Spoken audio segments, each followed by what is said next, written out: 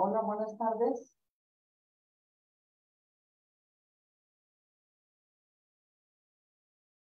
A ver. Déjenme, veo aquí si ya me están escuchando, por favor. Denme chancita porque... Oh, cielos. Estoy acá con unos dispositivos que no son los que normalmente utilizo. Estaba en una computadora, no pude entrar en esa computadora, me cambié a otra, estaba batallando con esa computadora y luego, este, ahora estoy pasando los archivos para otra, así que denme oportunidad, sí. Ya saben que con estos, con estos dispositivos, este,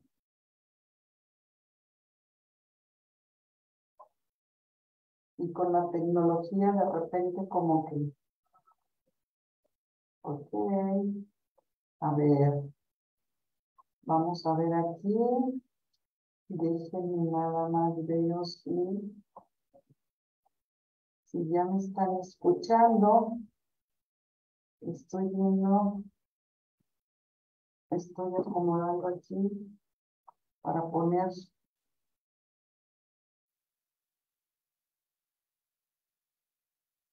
para ver si ya me están,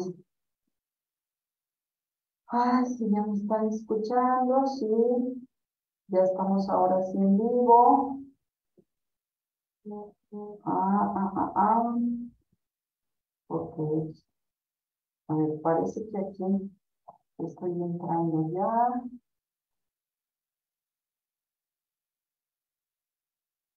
Oh, qué nervios. La verdad es que son muchísimos nervios estos que me dan cuando creo tener todo a tiempo, pero pero no lo puedo tener a tiempo como normalmente lo hago. Así que parece que aquí estamos ya. ¿Sí? No sé si... Ah, ah, a ver, permítanme. Ok. Bien.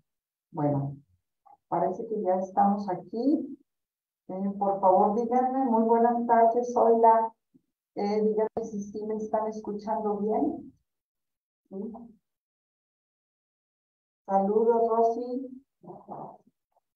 Muchos saludos. Hola, buenas tardes, Gigi Lozano, Marilu Enríquez, Doña Mari, muy buenas tardes. Ok, parece que ahora sí ya me están escuchando, ¿verdad? Porque, ay, una disculpa por, por el retraso, pero estuve aquí este, que, que no, no podía entrar y no se conectaba el Zoom con el Facebook y, ahí, ok, excelente. Gracias, Sara, gracias por, por estar aquí, por no desesperarse, por tenerme toda la paciencia del mundo como siempre. Me da muchísimo gusto estar nuevamente aquí con ustedes. Y aunque mm, no escuchas, no escuchas muy bien, no escuchas muy bien, sola, este, a ver si, a ver, a ver si ahí me pueden escuchar un poquito mejor. Sí. Muy buenas tardes, Tocaya, Mari Carmen. Ok, sí se escucha bien, excelente. Bueno, ahora sí, vamos a empezar. Déjenme decirles que hoy, hoy es el Día Internacional de la Diabetes. Pero hoy no voy a hablar de diabetes porque como estuvimos este, viéndolo en semanas anteriores, estuvimos varias semanas antes eh, tratando el asunto de, de, la diabetes. ¿sí? Entonces, aunque hoy es el Día Internacional de la Diabetes, hoy no vamos a hablar de diabetes, sino que hoy vamos a hablar de una enfermedad que de hecho tiene su día internacional el día de mañana. El día de mañana, 15 de noviembre, es el Día Internacional de las Enfermedades Neuromusculares. Sí, habíamos hablado un poquito de lo que era la escoliosis. Eh, y la escoliosis es una enfermedad osteomuscular. ¿sí? Las enfermedades de la columna, de la espalda, este, cuando hablamos de articulaciones, problemas articulares, hablamos de enfermedades osteomusculares. Pero el día de hoy vamos a hablar de las enfermedades neuromusculares. ¿sí? Cada 15 de noviembre, como les comentaba yo ahorita, es el Día Mundial de las Enfermedades Neuromusculares. Esta es una fecha que es muy promovida por la Organización Mundial de la Salud para facilitar el conocimiento y favorecer la investigación de este conjunto de enfermedades caracterizadas por la pérdida progresiva de fuerza muscular. Es muy diferente las enfermedades neuromusculares a las osteomusculares, ya que eh, son, aquí interviene el hueso, que es el osteo. ¿sí? Las enfermedades osteomusculares tienen mucho que ver con la tensión del músculo, que es este el que deforma la columna como lo habíamos visto. En este caso vamos a estar hablando de dos sistemas también y de otras complicaciones más, pero hablaremos ahora directamente del sistema nervioso y el sistema muscular. Entonces, como la Organización Mundial de la Salud lo que quiere es que se promueva la información sobre las enfermedades neuromusculares, pues vamos a empezar por saber, por conocer qué son las enfermedades neuromusculares. ¿sí? El término, como lo vemos aquí, el término neuromuscular se utiliza para definir diversas enfermedades y dolencias alteran el funcionamiento de los músculos. Pero a diferencia de los osteomusculares, eh, donde ahí es, es principalmente al que tenemos que, ayudar mucho es al, al, sistema muscular, porque este deforma al sistema óseo, que es la columna, Acá estamos hablando de que el que se ve afectado como final es el sistema muscular por problemas del sistema nervioso. ¿Sí? Estas enfermedades afectan directa o indirectamente a uno o varios componentes de la unidad motora del cuerpo, como son los músculos. La unión neuromuscular es, como tenemos aquí en este primer eh, diagrama que vemos aquí, que, ven ustedes en su pantalla del lado izquierdo, tenemos este, una fibra muscular, ¿sí? Tenemos una fibra muscular y tenemos el nervio. Ese nervio es ese como cordoncito amarillo y luego, si se fijan ustedes, tiene como que un tubito, ¿sí? Ese tubito es la mielina. Es como que el plástico que protege al, al cable eléctrico. El nervio es el cable eléctrico y ese tubito como transparente que se ve aquí, la mielina, que es la que protege al nervio o cable para que no haga cortocircuito. Porque cuando eso sucede, es que se dan todas las neuropatías y se da la, la, este, la fibromialgia y, ese tipo de enfermedades, donde se ve afectada la mielina, que es ese tubito que sería el transparente, ahí se ve solamente un pedacito, pero en realidad la mielina cubre completamente al nervio, ¿sí? Lo cubre completamente. Y el nervio se une al músculo, ¿sí? Se une al músculo para pasar información y también recibir información.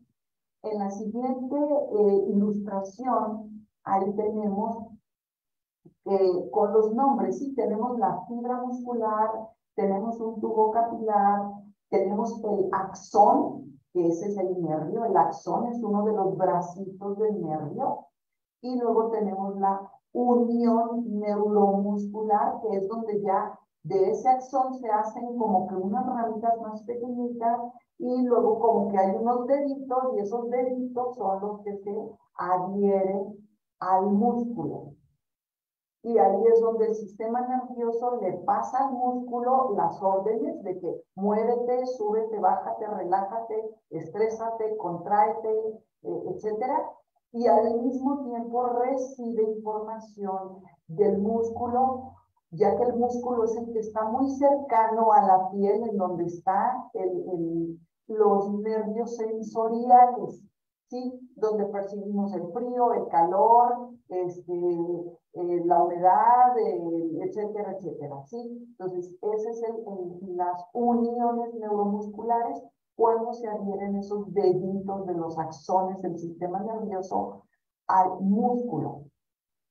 Entonces, estas, estas enfermedades, como veíamos ahorita, afectan directa o indirectamente a uno o varios componentes de la unidad motora del cuerpo, que son los músculos. Los músculos son el sistema motor, ¿sí? Eh, y como les comentaba ahorita, la unión neuromuscular es el espacio donde se une el nervio con el músculo, con esos deditos, y, que, se, que se insertan de cierta manera, como lo vemos ya en el otro diagramita, en el cuadrito más pequeñito, esos deditos que ya son microscópicos se, se insertan este, para adherirse muy bien al, músculo, ¿sí? Y luego por esas este, vesículas sinápticas es donde se se retroalimentan la información, donde entrega información el nervio y recibe información. ¿Sí? Eh, las terminaciones nerviosas que salen de la médula espinal, o sea, tiene el cerebro y luego la médula espinal que va por el medio de la columna y de ahí entre vértebra y vértebra salen esas terminaciones nerviosas y luego de ahí van hacia los nervios o sistema periférico, que son los nervios que van a brazos, piernas, cuello, cara, etcétera, y a todo el cuerpo, ¿sí? A las motoneuronas espinales, que son las células que controlan la acción de los músculos. Puesto que en todos los casos queda interferida la comunicación entre nervio y músculo, se produce debilidad y alteración en la estructura y funcionalidad de estos. O sea, en todos los casos de qué? De una enfermedad neuromuscular. Cuando hay una interferencia en el nervio, ¿cómo qué tipo de interferencia se puede llegar a dar? Por ejemplo, ya ven cuando hablábamos, que yo, yo les comentaba de esas malas posturas, de esos vicios, vicios de posturales que si porque cargamos la bolsa, que si porque nos, nos sentamos así, tenemos esos vicios de que eh, nos recargamos o que eh, por el uso de los zapatos o pisamos chueco y todo eso va descompensando nuestro sistema óseo. ¿Sí? El sistema óseo. Entonces, cuando eso sucede, también por vicios de postura, la columna se empieza a enchuecar y la columna vertebral va a hacer lo imposible por mantenernos en pie. ¿sí? Entonces, al enchuecarse, puede presionar más de un lado que de otro. Y ahí ya hay una interferencia en la comunicación del cerebro por la médula espinal y hacia los nervios que van a la cara, al cuello, a los brazos, al cuerpo, a los órganos, a las piernas, sí. Y de ahí al sistema motor, que son todos los músculos. Todos los músculos, los músculos, o sea, para que yo pueda hacer este movimiento y así y así, y que yo pueda hacer esto y moverme, hay una información que estoy mandando desde mi cerebro y va por la médula y sale al sistema nervioso periférico porque obedece las órdenes que yo estoy mandando a mi dedito, muévete así, dale no, levanta este, dale para allá, no, mejor pide raíz para atrás, etcétera, ¿sí? Cuando eso se ve obstruido, se ve interrumpido, sea desde la columna, en la salida, o en alguna articulación, ¿sí? En, algún, en alguna, por ejemplo, cuando hay accidentes donde se, se, tuercen las articulaciones y en esas torceduras, en esos em, que se desencajaron las articulaciones y luego que se vuelven a acomodar y queda un nervio eh, presionado, ahí hay interferencia de comunicación. Entonces, eso con el tiempo puede llegar a, dejar este, algún problema, generar algún problema eh, muscular.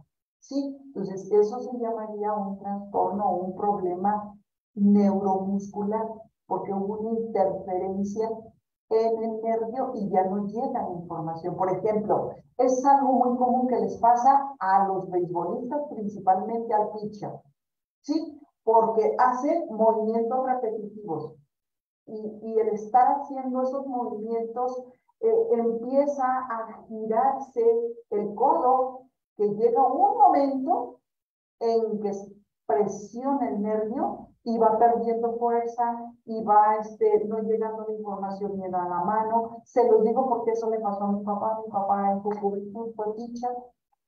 Este, y eso le sucedió ya a la hora del tiempo. También lo que, lo que es, por ejemplo, los tenistas y el codo de tenista pueden llegar a provocar algún problema neuromuscular por la interferencia debido a movimientos repetitivos o también lo que es el, el túnel carpiano, porque siempre se está haciendo el, el mismo movimiento este, con el ratón o con actividades, por ejemplo, cuando se trabaja en, vamos a decir, en maquiladoras, donde cada quien tiene una actividad específica. A este, o por ejemplo, yo tuve una paciente hace algún tiempo, antes de la pandemia, este, que ella, ella es enfermera, ahorita ella es enfermera jubilada, y ella los últimos años estuvo ya en el área de quirófano, pero no como asistente de los cirujanos, sino que ella era la que se encargaba de preparar el kit que iba a utilizarse en quirófano. Y en ese kit, en ese paquete, tenía que introducir ella ciertas cosas, que, si las gasas, que si los guantes, que no sé, X, X material, pero que era constante, constante, constante, constante, y ese fue su trabajo diario, diario, diario por varios años. Y se vio afectada sus muñecas, ¿sí? Porque hacía lo mismo, hacía el mismo movimiento repetitivo, repetitivo. Entonces, esos movimientos repetitivos, posturales, de cómo nos sentamos, de cómo caminamos, de, de cómo este, nos, nos uh, reclinamos para manejar, etcétera, pueden este, llegar a provocar un problema neuromuscular debido a que se prensa un nervio y entonces no llega la información correcta al músculo. ¿sí? Es, es como que a grandes rasgos, cuando hay esa interferencia de información. Así es como se da. ¿sí? Este, por eso esas enfermedades neuromusculares, ¿sí? Eh, es son todos, todos aquellos casos donde hay esa comunicación que, que queda interferida la comunicación entre nervios y músculos. ¿Y qué es lo que sucede con esto? ¿Sí? ¿Cómo se origina? ¿Cuál es su origen? Como yo les comentado ahorita, muchas de las veces nosotros mismos con esas malas posturas, con esas malas vicios que tenemos o, o con el que nos tropezamos, nos caemos, tenemos algún pequeño accidente, como lo mencionaba yo con la escoliosis, y de inmediato debemos de acudir a que, a que nos hagan alineación, ya sea con el alfabiótico o con el quiropráctico, a que nos hagan alineación justamente para que no vaya a haber alguna presión de alguno de los nervios. O también este, que empiecen las deformaciones en la columna vertebral. Sí, nosotros al, al acudir inmediatamente a eso, este, podemos eh, prevenir muchos, muchos problemas neuromusculares. Ya que estas enfermedades, cuando ahora sí se denomina como tal una enfermedad neuromuscular, estas están catalogadas como enfermedades raras. La mayoría son progresivas y tienen una causa genética, como miopatías congénitas distrofia muscular de Duchenne, atrofia muscular espinal, este, atrofia, la, este, ¿cómo se llama esta? La, lateral amiotrófica, este, eh, que, se ve afectada toda la columna y luego este, eh, el músculo pierde toda su, tonicidad y todo esto. Sí, son progresivas y eh, esta causa genética, como viene aquí, habla de las miopatías congénitas.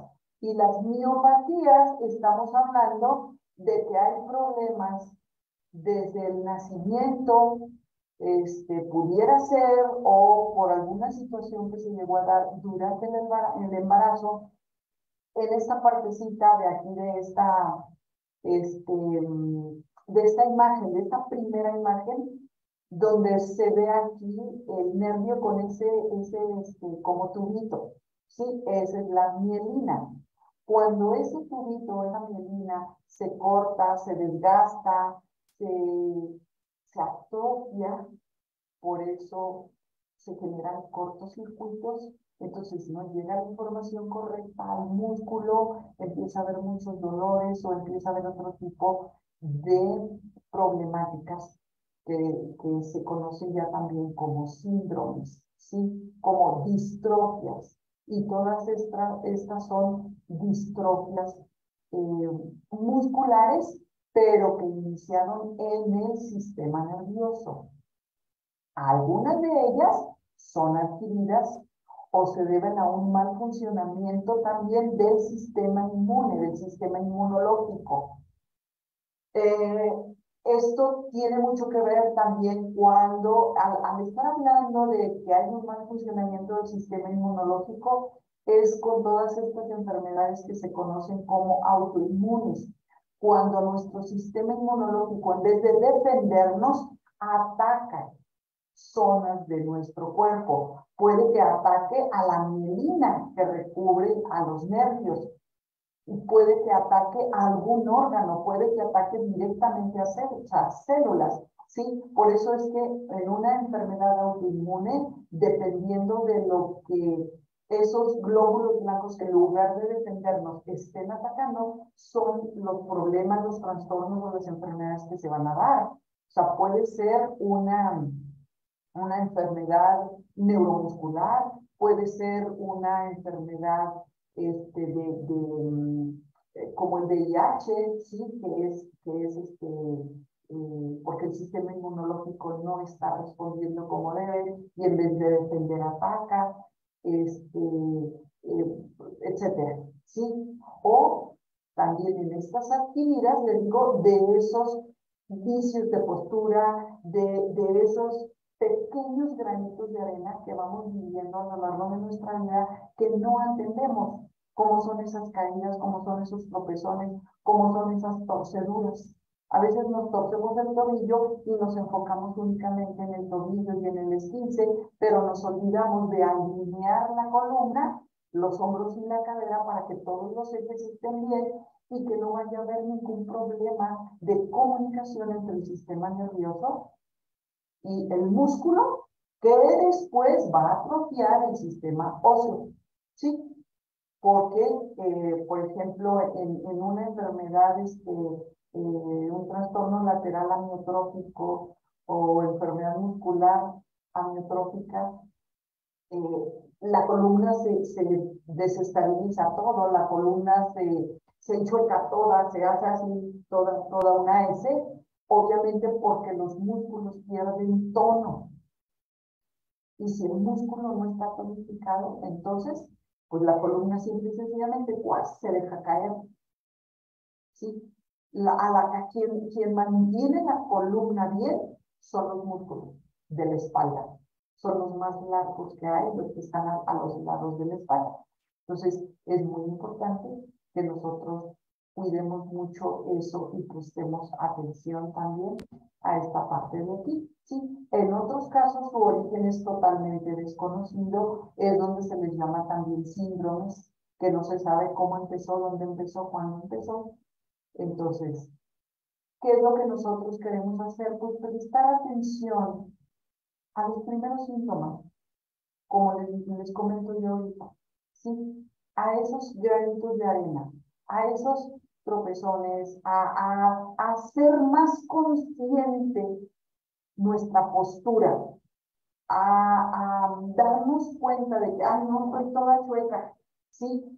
Que cuando nos veamos en el espejo, que nos estemos arreglando, que nos estemos diciendo, eh, acostumbremos vernos, ver nuestros hombros, qué tan, qué tan eh, este, equilibrados están, qué tan derechos están, a preguntar de vez en cuando, ¿cómo me ves de mi espalda? ¿Cómo se ve mi somóplato? ¿Sí? Los homóplatos o, o, este, o paletas o como escápulas, como ustedes los conozcan, este, ¿se ven parejos, se ven igual o se ven más levantados uno que otro, etcétera? Sí, porque desde ahí nosotros podemos ir previniendo muchísimas, muchísimas cosas.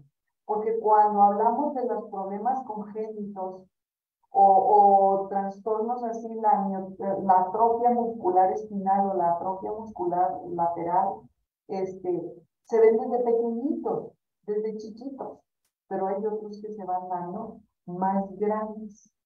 Entonces nosotros desde ahí, ¿qué vamos a atender? Bueno, estamos viendo ya desde aquí, desde el inicio, que es el sistema nervioso y el muscular. ¿Sí? Desde ahí, vayan tomando ese en cuenta nervioso, ahí se origina, y muscular, porque es el que la lleva. ¿Cuáles son los síntomas de una enfermedad neuromuscular? Bueno, sus síntomas suelen manifestarse por primera vez como consecuencia de una infección o una inflamación y es posible que se mantengan aletargados durante años. Aquí, en esto es cuando nosotros necesitamos también prestar mucha atención porque como consecuencia de una infección o una inflamación es cuando se da de origen autoinmune, cuando se ve afectado el sistema inmunológico y después este sistema inmunológico ya no responde de la manera correcta y en vez de defendernos, ataca al sistema nervioso y ahora sí, de ahí, de ese sistema nervioso alterado, atacado, agredido, entonces no llega la información correcta a los músculos. ¿sí? Otras veces los síntomas de estas enfermedades son intermitentes, aparecen en formas de brotes con fases de remisión clínica, luego se estabilizan y aunque generalmente son degenerativos, siempre empeoran con el tiempo.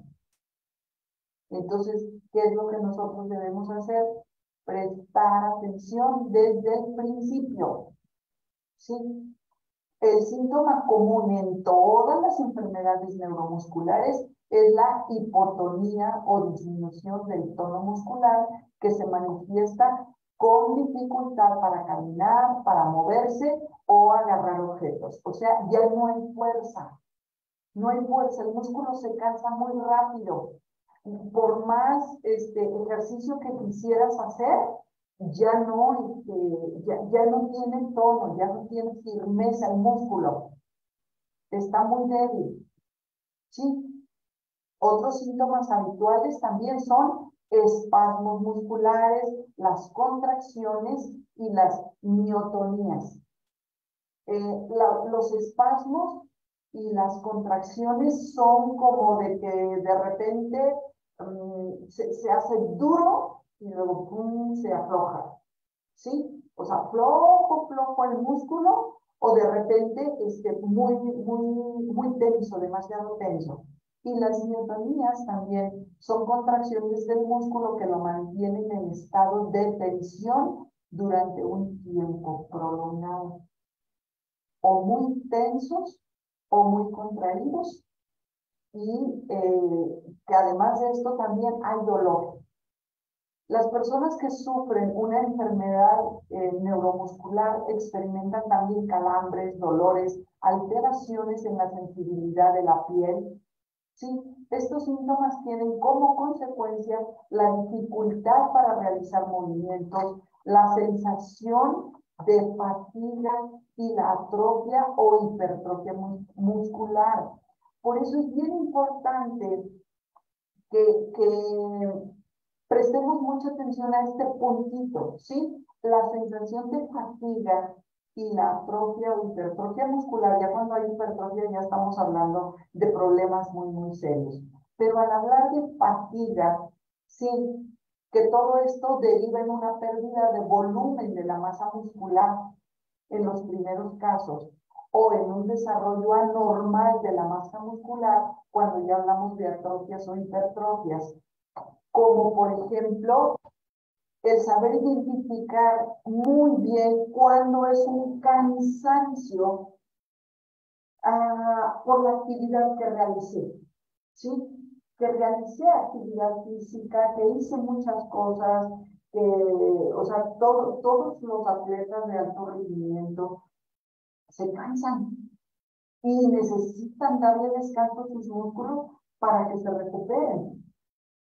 Entonces, es bien importante saber identificar la diferencia de un cansancio muscular, ¿sí?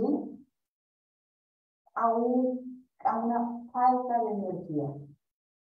Porque a veces, por ejemplo, en el caso de la diabetes, es, es atrofia muscular.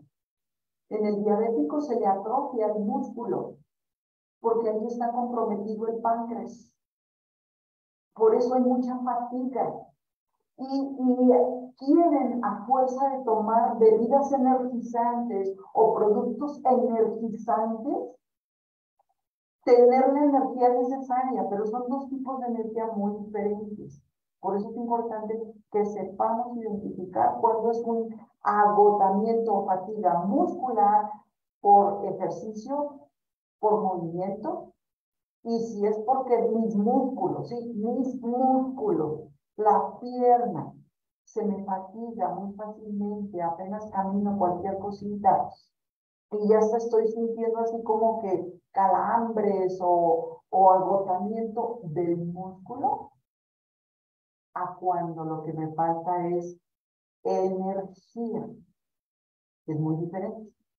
Entonces, de nada va a servir que a una persona con fatiga muscular, con atrofia muscular, le den energía y le den este, bebidas energizantes, le den deporte, este, eh, no sé, le den moscovita. Bueno, el moscovita ayuda a que el músculo se recupere, ¿sí? El moscovita sí va dentro de esto, pero no como un energizante, sino porque estamos siendo conscientes de que tenemos que ayudar al músculo.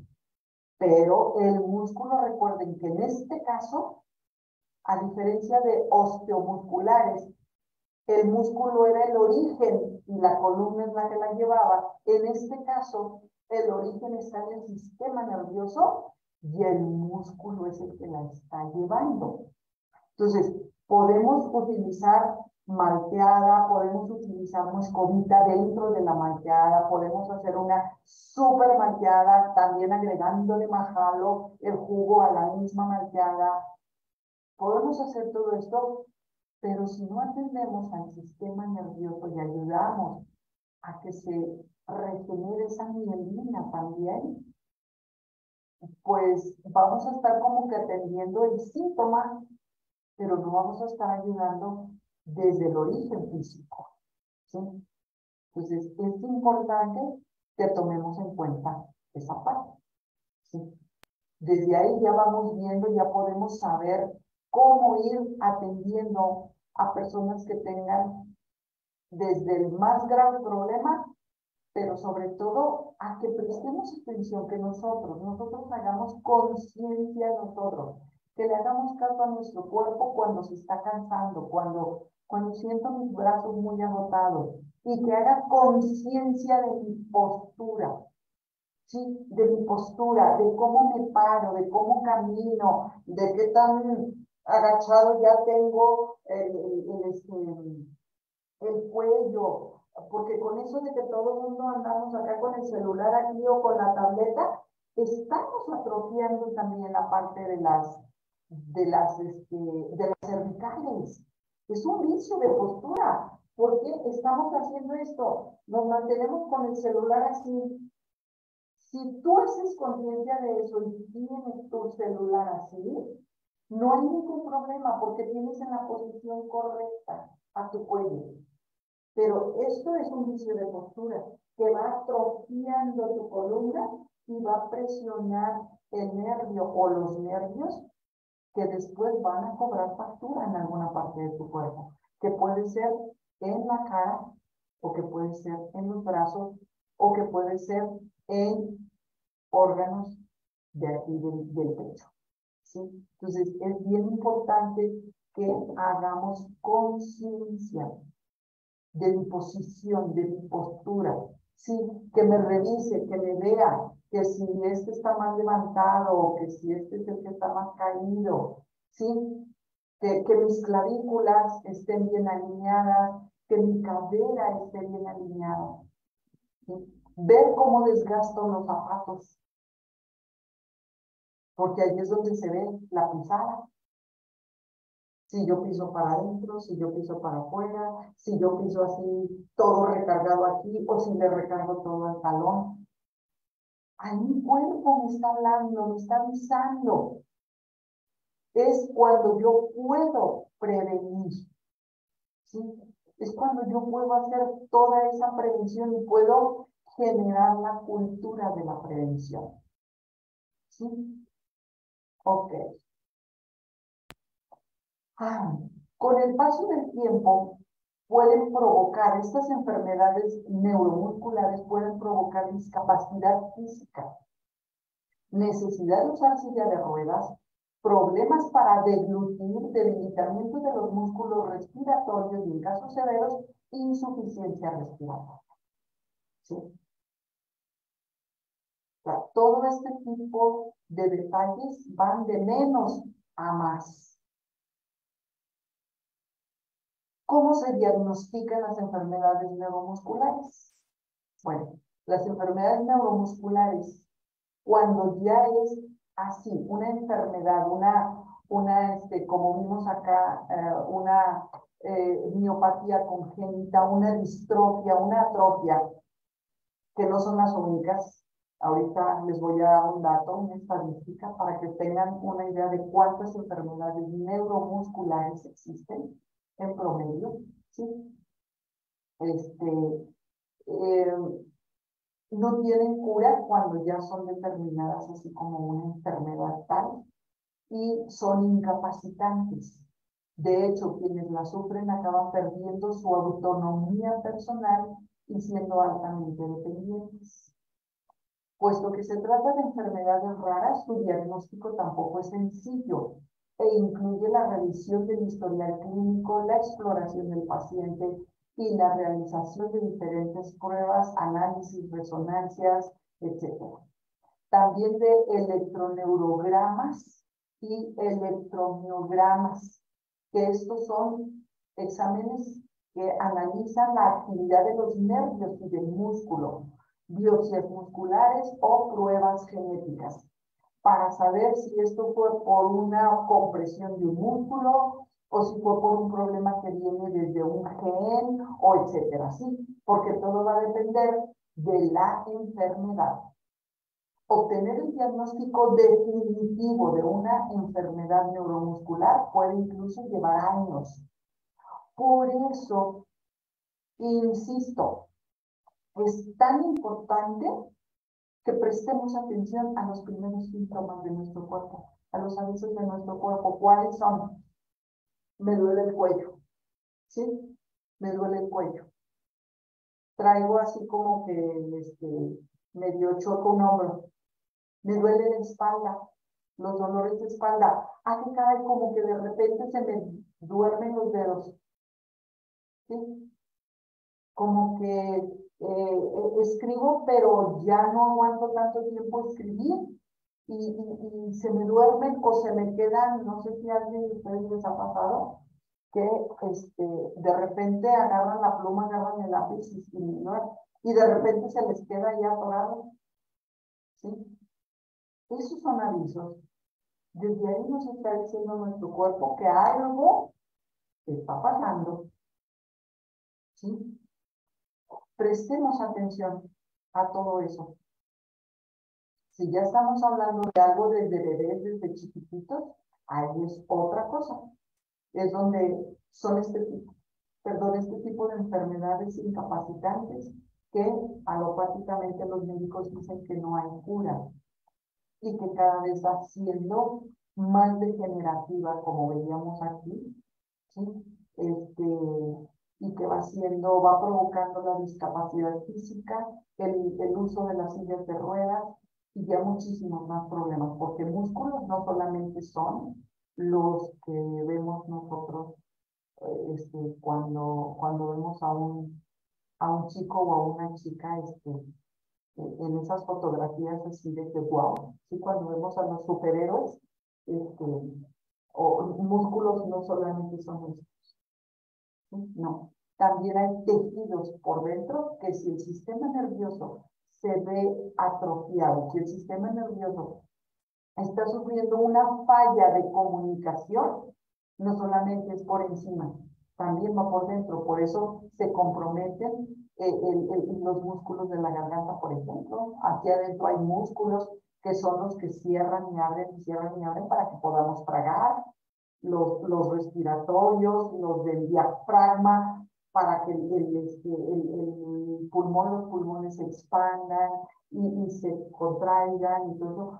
Todo eso son músculos.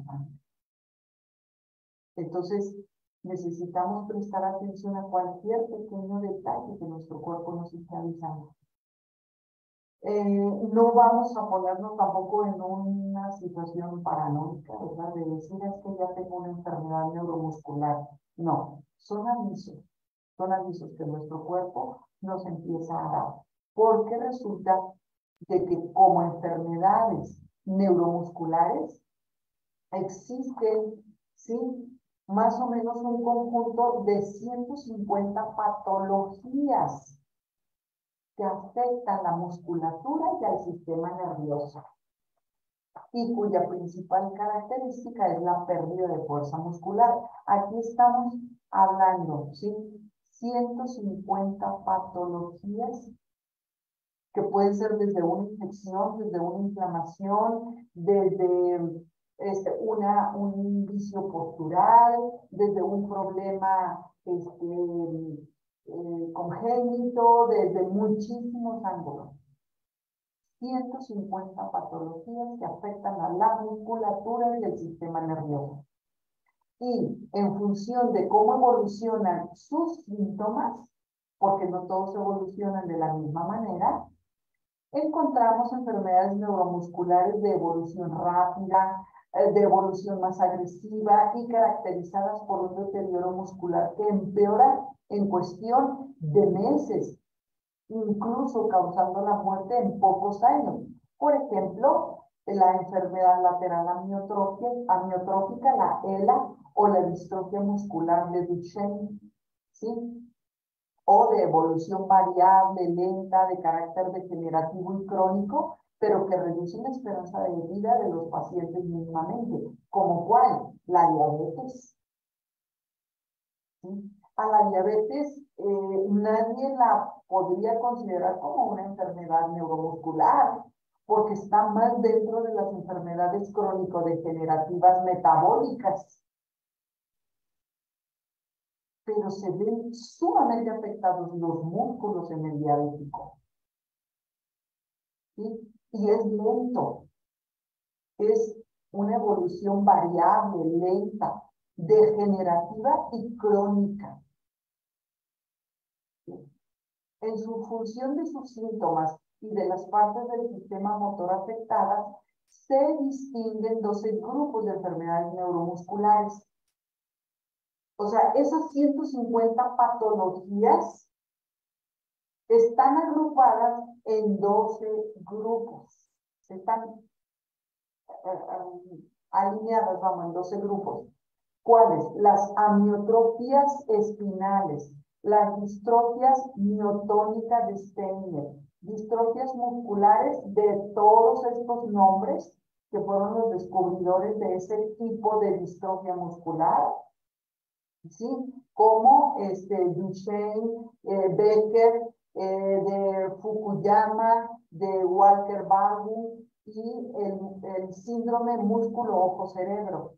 Las enfermedades de la unión neuromuscular, miastenias graves, síndrome de Eaton-Lambert, las inflamatorias como son la poliomiositis y dermatomiositis, la miositis por cuerpos de inclusión, déficit de carnitina, las miopatías congénitas, miopatías distales, miopatías metabólicas, miositis ossificante progresiva, miotonias congénitas, neuropatías hereditarias sensitivo-motoras, como la enfermedad de Charcot-Marie-Tooth o las parálisis periféricas familiares, que son adinamias episódicas de Gamstorff y enfermedad de Westphal y este otro de apellido Eulenburg. Les ponen estos nombres por quienes las descubrieron.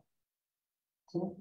Y dentro de estas parálisis periféricas también podríamos incluir en esa parte a la parálisis facial, las hemiplegias, ¿sí? Las hemiplegias, em, las hemiplegias eh, se deben a un microinfarto cerebral, generalmente, eh, por algún derrame, por algún accidente cerebrovascular en alguna zona del cerebro, que si dañó o afectó zona sensorial de un área motora, pues la falla de comunicación viene desde el cerebro y por eso se ve afectado el lado contrario. Por eso es que son 150 problemas que tienen que ver con eso. Entonces aquí ya estamos englobando, en, por ejemplo, las hemiplegias, no solamente las, las este, em, el, sistema circular, el, nervioso motor muscular, eh, sino también si fue por un microinfarto cerebral, por un derrame, por una subida de presión repentina muy alta, una hipertensión, un pico de hipertensión, pues también entra el sistema circulatorio. Por eso necesitamos prestar atención antes, porque hay muchas, muchas cosas que pueden desencadenar este tipo de, enfermedades. ¿Sí? Ok. Y luego, ¿qué vamos a hacer entonces nosotros? ¿Podemos ayudar o no podemos ayudar? Bueno, el tratamiento respecto a esto, a este asunto respecto al tratamiento, fíjense bien, presten mucha atención a esta partecita. Si el origen de la enfermedad neuromuscular es tóxico, o sea, por una intoxicación, por una infección o endocrino metabólico, endocrino, glándula, sistema, sistema endocrino, son las glándulas, sistema glandular, metabólico, transformación. O sea, que las glándulas ya no pueden transformar y se ven afectadas las hormonas porque son los neurotransmisores, ya hay falla. Entonces aquí estamos hablando pues que si, si, si se originó por una situación, por un tóxico, por algo tóxico, por algo infeccioso, pues es lógico que necesitamos desinfectar, limpiar, desintoxicar. Por eso, insisto, tan importante, desintoxicaciones periódicas, desintoxicaciones periódicas. ¿Sí? Cada tres meses, cada cuatro meses, ya de perdiz cada seis meses. Pero necesitamos hacer desintoxicaciones frecuentes. Si es infeccioso, necesitamos nosotros ayudar también al sistema inmunológico. ¿Sí? Y si es endocrino metabólico, pues necesitamos ayudar al sistema endocrino, al sistema glandular. A. Y hablando, cuando hablamos de sistema glandular y hormonas, no estamos hablando solamente de los ovarios, no estamos hablando solamente de la tiroides, es del sistema. ¿Sí? Hipófisis, epífisis, tiroides, paratiroides, timo, suprarrenales que están encima de los riñones, eh, los ovarios o la próstata, los testículos, este, incluso el hígado, aunque no es una glándula, también produce hormonas. El corazón produce una hormona. Entonces, necesitamos nosotros ayudar a todo esto. Es posible cuando el, el, origen viene de ahí por toxicidad, por infección, por una infección o por un problema metabólico, endocrino, glandular, hormonal, sí, es posible encontrar su causa y tratarla.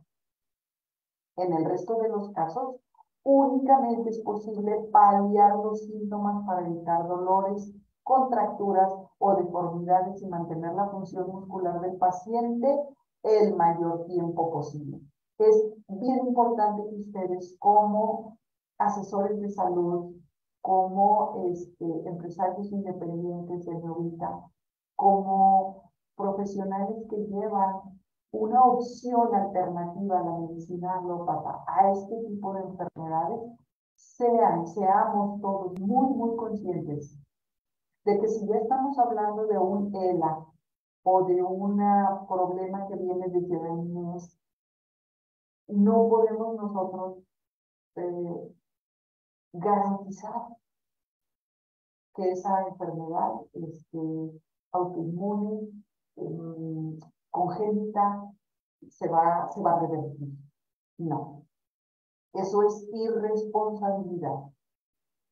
Si nosotros empezamos a atender los síntomas, los síntomas desde el inicio, desde un dolor de espalda, desde eh, el, dolor de hombros, desde el insomnio, desde no duermo bien, desde tengo mucha ansiedad, porque se me contracturan los músculos y luego no duermo bien, y luego eh, hago consciente mi postura y me doy mantenimiento, me hago mis desintoxicaciones periódicas, me hago mi mantenimiento en alineación y balanceo de mi sistema óseo, eh, eh, voy a que me hagan alguna, algún masajito, algo relajante para ayudar a mi cuerpo de manera integral. Y además de eso, nosotros recomendamos ashwagandha, focus, bioadap, moscovita, liniru y satisface. De arranque, estamos atendiendo sistema nervioso, cerebro, neuronas, estrés, insomnio, sistema glandular, hormonal, Moscovita apoya a todos estos y además ayuda en la restauración del músculo. Si incluimos en la alimentación que satisface, que es proteína, que además trae ganoderma, por aquello de que también hay enfermedades neuromusculares de origen infeccioso, ya estamos proporcionando una nutrición que además de que el músculo se nutre de proteína, esta proteína está enriquecida con ganoderma, con betaglucanos, que van a ayudar al sistema inmunológico y además atendemos tópicamente con dinero para relajar el músculo, para disminuir el dolor. Estamos trabajando ya de una manera integral, ¿sí? con estos seis productos. Y queremos hacerlo todavía más fuerte. Vamos a agregarle complejo B, porque estamos hablando que aquí es neuromuscular, ¿sí? Y se origina por una mala comunicación del sistema nervioso hacia el músculo. No llega la buena, la, este, ok, bueno, Juan Manuel, aquí estamos hablando de otra cosa, ¿sí? Tú me estás hablando de la tiroides y acá estamos hablando de enfermedades neuromusculares. Entonces, tú puedes incluso, si te fijas, está, hablas de tiroides y es un problema endocrinometabólico. Y aquí estamos hablando de cómo nosotros podemos ayudar en ese sistema endocrinometabólico con ashwagandha, focus, yada, ¿sí? con este, moscovita. Moscovita si es hipo. Si es hipotiroidismo, moscovita revierte el hipotiroidismo. Complejo B para nutrir al sistema nervioso y también además trae la jalea real que ayuda en la energía del cerebro, no en la del músculo. En la del músculo le va a ayudar moscovita y gesatizas. ¿Sí? Y en la del cerebro le va a ayudar complejo B forte. Y luego agregamos a Kikan, porque aquí estaríamos atendiendo ya la parte tóxica e infecciosa. Atican es el antiviral, el antiviral por excelencia.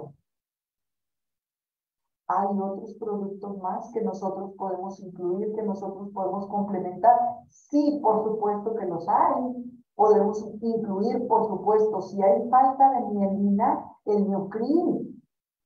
También podemos agregarlo. Si estamos hablando de, de un problema de mielina, el miocris también es, es importante. ¿sí? Podemos agregar majalo, el jugo, por supuesto que lo podemos agregar porque es antioxidante. ¿sí? Ayuda a evitar la, la, la oxidación. Eh, que necesitamos regenerar la mielina más rápido, pues ¿cuál nos ayuda a regenerar más rápido? Resvitatrol, porque no solo es antioxidante, sino que ayuda en la regeneración celular. O sea, no son los únicos productos que vamos a utilizar, pero no podemos meterlos todos de golpe. Y sobre todo que tenemos que tomar en cuenta, sí, tenemos que tomar en cuenta en cuanto al, a este, moscovita, a resvitatrol y el majalo, tenemos que dosificarlos muy bien si la persona es diabética. Podemos recomendarlo, sí, pero ahí sí necesitamos este, llevarlos con mucho cuidado y sobre todo que la glucosa se mantenga estable, que sea un diabético controlado, porque si no, se va a desestabilizar y le va a echar la culpa a los jugos. No, no son los jugos. Es la falta de responsabilidad del diabético por no tener esa diabetes en control. ¿Sí? Es la falta de responsabilidad por no llevar una alimentación equilibrada, más saludable. Es la falta de responsabilidad de sí mismo. Y que muchas de las veces son consecuencia de la falta de responsabilidad de un diabético. Por eso se dan las neuropatías diabéticas y los dolores musculares y los calambres. Se pierde la mielina. Entonces, sí necesitamos ser muy, muy cuidadosos en eso. No vamos a tomar la enfermedad aislada. Por eso es tan importante que investiguemos un poco más y que le preguntemos. Y a ver, ¿cómo es? ¿Qué desayunaste? Hazme de una semana para todo, todo, todo lo que pongas. Si de verdad quiere que se le ayude, va a ser la persona honesta pero desafortunadamente hay, hay mucha problemática ahí con, con la persona diabética porque si no se responsabiliza de sí misma, no es honesto. No es honesto. Entonces, después echa culpas a los productos. ¿Sí? hay muchos, muchos productos que se pueden incluir para ayudar en, estas enfermedades. Pero necesitamos saber si es consecuencia de y si ese D está bajo control para poder decir, ah, bueno, mira, ahorita podemos agregar una onza de moscovita o, perdón, podemos agregar este, un resveratrol y, y, vamos a llevárnosla este, con calma, ¿sí? Porque si no, puede haber un descontrol en la glucosa. ¿De acuerdo? Ok. Déjenme, déjenme, veo aquí sus comentarios. A ver, buenas noches, doctora Carmen, desde Melchor Campo, Estado de México. Saludos, Maru, Maru Castillo. Este, gracias, Celia, gracias. Ángeles. Ah, este, cuando se queda atorado un dedo, eh, mira, lo que pasa es que a lo mejor en ese momento, Ángeles, no se consideraría, o sea, se queda encruchado el dedo, ¿no? Que era lo que les decía de cuando agarramos una pluma o hacemos ciertos movimientos. Eh, no se ve como algo ya diagnosticado una enfermedad neuromuscular. Pero sí te está diciendo ya tu cuerpo que hay algo que necesitas poner atención, porque pudiera ser una inflamación. Acuérdate que, esto también es por inflamaciones, infecciones o inflamaciones. Entonces puede ser una inflamación que no deja que las articulaciones, que los dedos tengan la movilidad adecuada, ¿sí? Que no podamos ya cerrar el puño. Entonces ahí pudiese ser a lo mejor ya el aviso de una artritis.